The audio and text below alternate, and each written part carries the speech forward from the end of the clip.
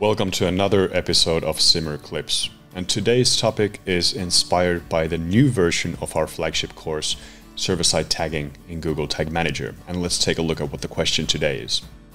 How do I get geolocation data in GA4 even if I choose to hide the visitor's IP address in server-side Google Tag Manager? So this is a great question because it kind of brings together a lot of different things. First of all, Google Analytics 4 uses your IP address to geolocate the user. So if you send your user's IP address to GA4, GA4 will use their own geolocation servers to determine what the country that user is visiting from is. And this is a very undetailed, fragile approach in general because people use VPNs, they use proxies, and their IP address is generally not that reliable as a geolocation signal.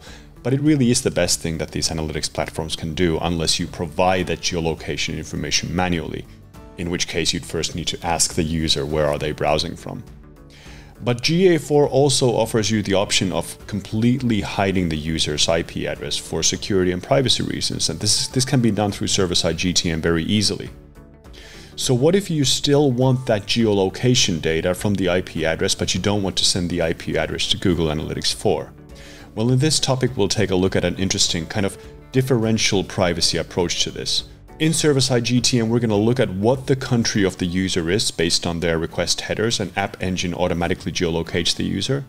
And then we're going to take a generic IP address from that country and use that as the user's IP address. So we're hiding all the users from Finland behind the same address. We're hiding all the users from United States behind the same IP address and so on. And in this way, we're hiding the user in the group but we're still getting country level geolocation data in GA4. And it's quite easy to do, and I'll show you how to do it in this video. So the way that I built this list, and I'm sharing all the files in the article that you can find from the video notes, there are some databases online from which you can pull the IP ranges per country. So for example, this particular country IPA database is the one that I used. It has hundreds of thousands of IP ranges for 242 countries, and it's quite frequently updated. So I pulled the JSON dump, which is a huge JSON file. Then I ran it through Python. And for every country, I pulled one single IP address. And I had to make sure that the IP address actually matches the country. So I polled the IP addresses against this free geolocation API until there was a match with the location of the IP and the one that the dump database dump claimed it was for. So why did I have to do this? Well, for some weird reason, and this goes a bit beyond my realm of expertise, the same IP address range can actually resolve to different countries depending on the geolocation API you're using. For example, if I use the iplocation.net to find the geolocation of the IP address I've chosen for United States, so this is a generic IP address from the US, if I do the lookup, this shows you the results from different IP geolocation services. So IP2Location returns that the country was United States, but IPinfo says it was Hong Kong, DB-IP says it was Taiwan, and so on. So we have these different services telling us different results. Now the only thing that matters is what does Google Analytics 4 use, and I don't know. So you'll have to test and see. That's why we're also sending the country as a custom dimension so that you can compare in your data what the custom dimension value is to the geolocated country. And if there's a difference, you might need to tweak those IP addresses and choose some other IP address for that country. So this isn't a static solution. It's something you should keep updating. You might even build a cloud function or something that constantly checks a fresh version of the IP address based on its country geolocation data or something. The whole point of this exercise is to show you how you could do this, but it's not necessarily the absolute best way to do it. So anyway, once you have the IP list per country, what I've done next is build a simple lookup table. So in this lookup table, we take the country code from the incoming App Engine header. So we're using App Engine in this case, but in the article notes, I've also added how to do this in Cloud Run, for example. What you need is a variable that returns the two-letter country code for the user. And if you're using some other service than Google Cloud, then you'll just need to figure out how your cloud service does the geolocation of the user or how it could do that geolocation. Most cloud services do offer some kind of enrichment service for this, or you could just use a geolocation API to enrich the data yourself. Then we map the country code to the generic IP address I got from the database dump. Once the variables are in place, you can go to transformations and we're going to create a new transformation. So transformations modify the data generated by the server side client so the tags that consume this data will only see the data that was transformed rather than the original data. So what we want to do is we want to create a new augment event transformation. So we're going to choose augment event from the transformation type. We're going to add a new row and it's going to be called IP underscore override. This is the event data key that determines the user's IP address. And this is what GA4 tags use, for example. And the value will be the return value of the lookup table variable that maps the user's country code to a generic IP address of that country.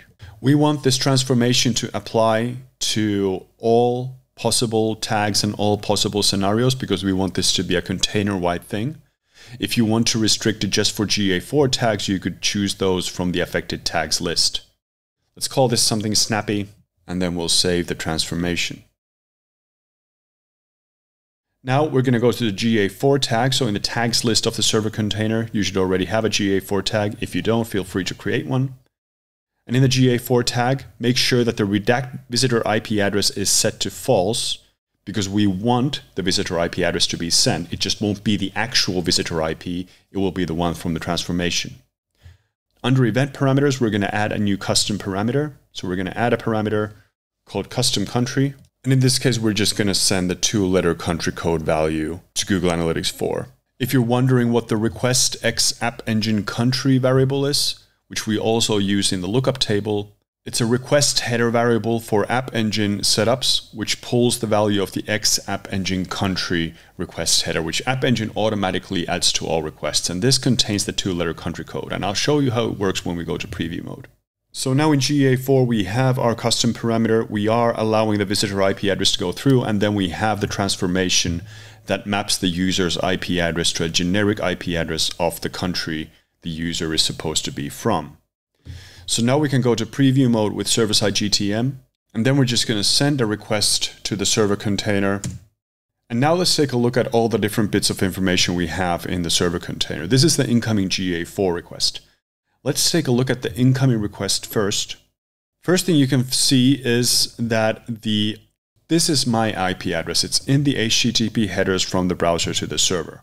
It hasn't been faked, it hasn't been spoofed, it hasn't gone through a VPN or anything. Here you can see how App Engine automatically geolocates the user. So it adds the country code into the header. So we use this country code to resolve the lookup table. If we then choose the page view event and go to variables, and here you can see that the lookup table takes the country code, FI, and maps it to a generic IP address from Finland. And now if we go to the tags tab and open the GA4 tag, scroll down to its transformations and choose the transformation, you can see how the original value of the IP override, which was my actual IP address, is replaced with the generic IP from Finland. And now the most important part. Let's go to the outgoing requests to GA4. Here, look for the UIP parameter, and you can find it here. And now you can see that it's set to the generic address from Finland. And you can also find the custom country event parameter set to FI. So we've successfully changed my IP to a generic Finnish IP address and send that information to GA4. So now the question is, how does it work in GA4? Well, we have to go through BigQuery intraday data to take a look at if this even works.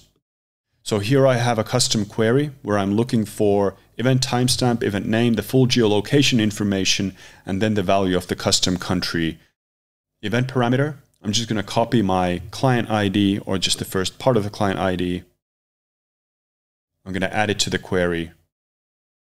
And then I'm going to run the query. And here we have the results. We have the geolocation data. So we have the continent Europe, country Finland, region Uusimaa, Helsinki, and so on. And for the custom country, you can find the FI value here. So this row, the one with the custom country, is the hit that we collected through server-side GTM. The rest are just dummy data that I did before when testing. So you can see that the custom country in this case maps nicely. The app engine country for my actual IP address matches the country from the dummy IP address. And GA4 did not receive my actual IP address in this case. So we managed to do the obfuscation. So take a look at the article that comes with this video because I've added some additional thoughts there. Like I said, the most difficult part will be in keeping this list up to date. But this is one way to do differential privacy with GA4, but it doesn't kind of solve the main problem, which is that IP based geolocation is just simply not very accurate. It just lets you use the IP geolocation information without exposing the user's actual IP address.